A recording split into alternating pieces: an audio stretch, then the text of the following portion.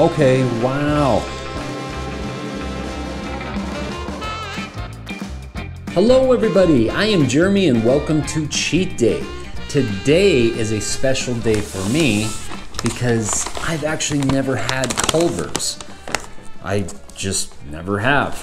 Uh, maybe it's the color of their blue buildings or something. To me, I don't know. Blue's not like a hungry or appetizing color, but for whatever reason, I've just never tried them.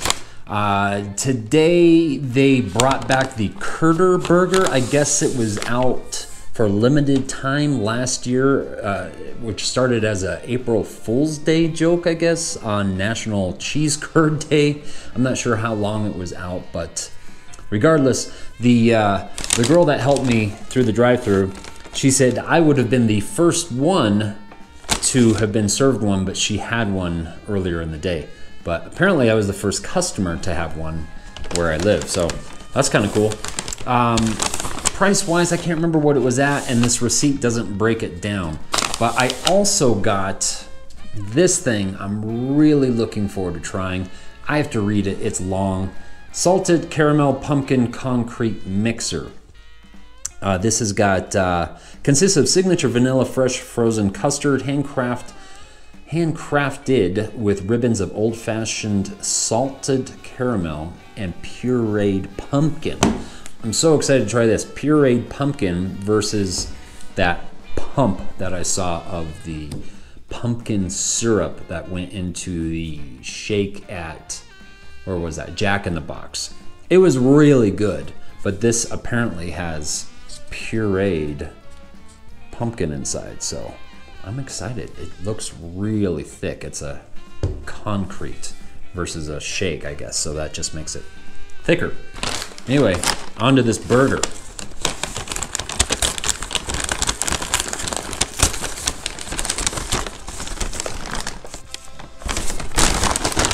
Napkins. I always like my napkins.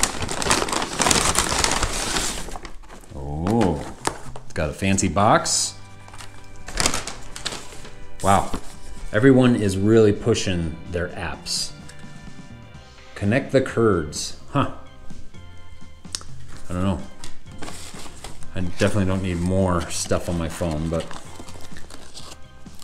Okay, so Culver's, the burgers come in a nice little box. Let's open this up. I'll actually let you guys see it first.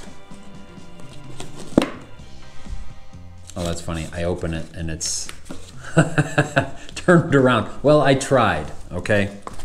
Uh, let's see. First, uh, first impressions. The top of the bun is completely like smashed in.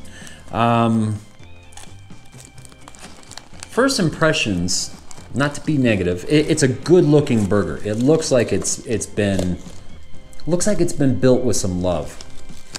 But the bun reminds me of like Wonder Bread, like a white bread cheap hamburger bun.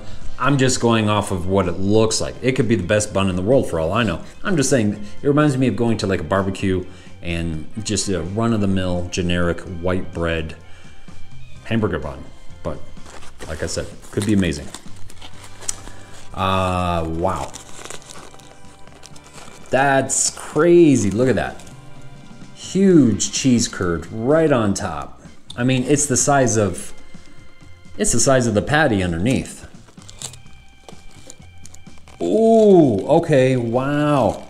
The okay, the patty is not not that big, it's not that thick, but it's a smashed style. I've never, like I said, I, I don't know anything, unfortunately, about Culver's. I've never had it. But that reminds me, there was a place where I grew up, uh, GD Ritzy's. I definitely know they're not still around, but they had a 50 style burger that was smashed. They had the Cincinnati's sauce that you could pour on the burger. Man, it was awesome. Unfortunately, they went out of business, but that was a long time ago. Let's get a better look at this thing.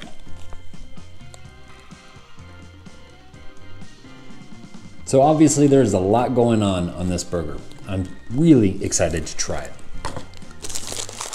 All right, so we got the the bun, obviously, the giant cheese curd, fried cheese curd, the patty, some American cheese, some lettuce, tomato, fresh, uh, fresh raw onion, pickle, and mayonnaise.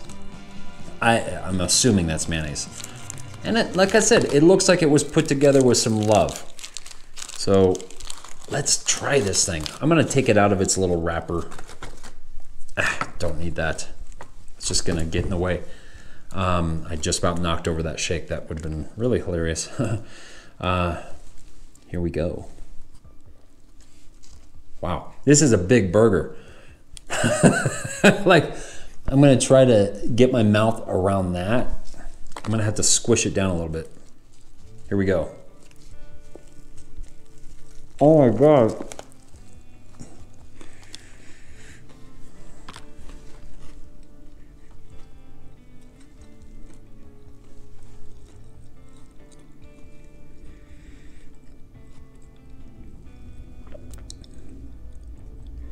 the slice of American cheese on that is a little redundant. Like, why bother? Whatever.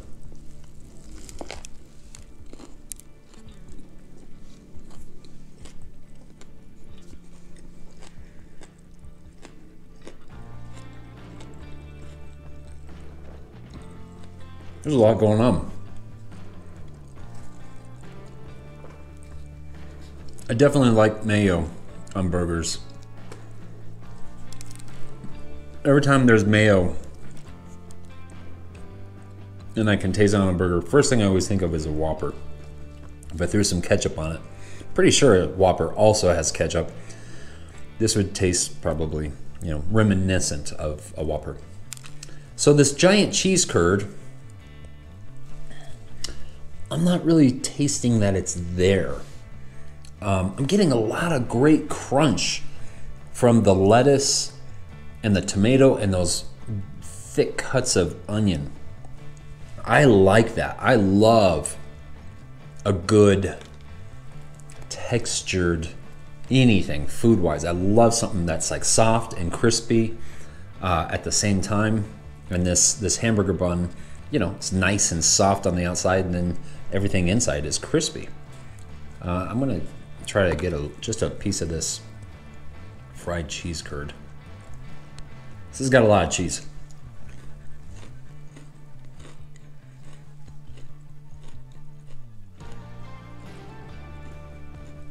It's good.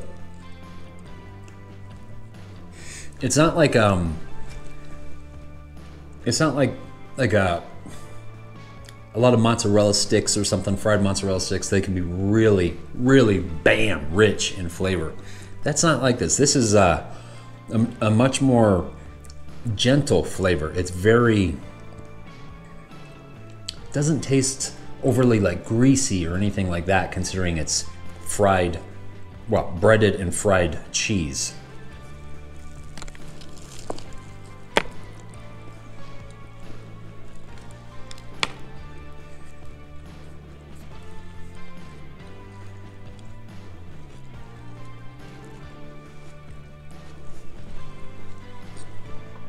Sorry, I want to talk, but I also don't want to talk with my mouth full.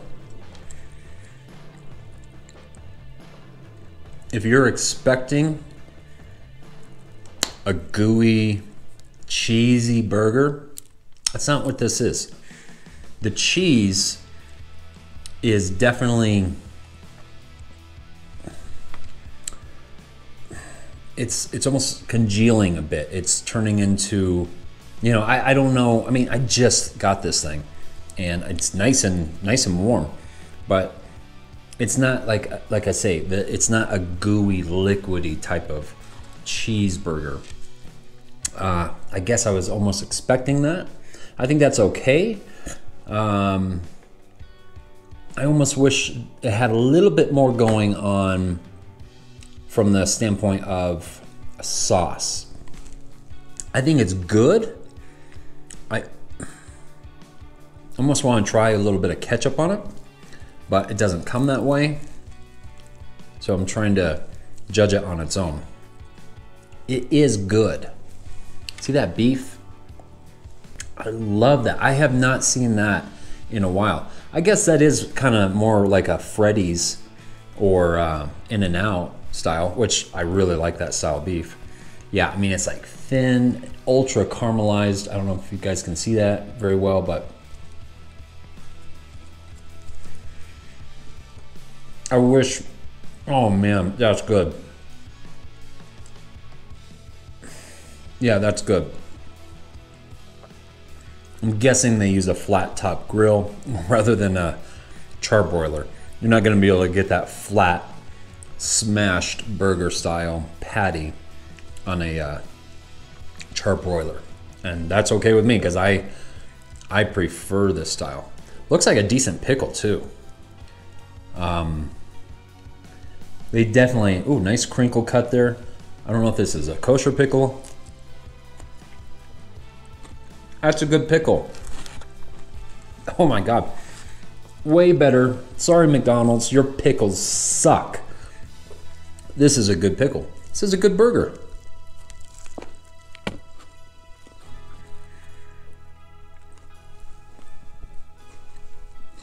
I would definitely be curious to try more of their menu. Mmm. I like the fresh red onion as well. Red onion. I like white onion on burgers, but white onion's got it's got more bite. Red onion, yellow onion, sweeter, a little little more mild. This is good. I just I wish it barbecue sauce. Barbecue sauce, I hate to say, would go really good. I, I can just tell. I know that sweetness would go well and adding some some moisture to it. But this is a good burger. I like it, and especially the price. Like uh, both of these, and I haven't even tried this yet. You know, it's twelve dollars and twenty cents after tax. That ain't bad. Let's try this salted caramel pumpkin concrete mixer. It's thick. Can I just say, one of the things that I love about doing this channel is all of the awesome milkshakes that I've been trying lately. Because usually I stay away from this stuff, but you know, I've had to put a little bit more cardio into my routine through the week, but it's worth it.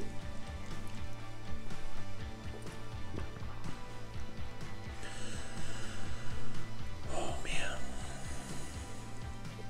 Wow. Okay, so that is uh, that tastes like pumpkin pie. The um, the shake from Jack in the Box, the basic witch, is really good. It's a really good ultra sweet dessert that is loaded with pumpkin spice type of flavors. Like, you know, you got some cinnamon and nutmeg for sure. Nutmeg, I remember, was sticking out pretty good on that. Um, this is not that. This is a more dynamic, more complex dessert. It definitely has pumpkin puree. If it didn't, they nailed the, you know, the taste of pumpkin puree this tastes more like pumpkin pie. As far as uh, salted caramel, I'm not even, oh, probably because all the caramel is on the side of this thing. Let me try to get some on up onto the spoon. Yeah, there's the caramel. Interesting. Interesting. Um, the caramel with the pumpkin. It's good. It's unorthodox. Uh, it's different though. I, I don't think everyone would like this one. This is something new from them. They also had the pumpkin spice shake, but I really want to try this salted caramel along with the pumpkin. Oh, I'm almost curious if I would have liked the pumpkin spice better. I might have to go back and try it. But uh, so far, this is really good. My wife would love this. She would absolutely love this.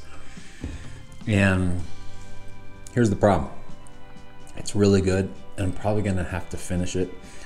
Maybe I'll save some, I'll throw it in the freezer, but she's gonna be watching this thinking, why the hell didn't you save Manny? So I'll just have to take her to Culver's, get her a burger, grab her one of these shakes. It's just another excuse to spend time with her. I love her more than anything.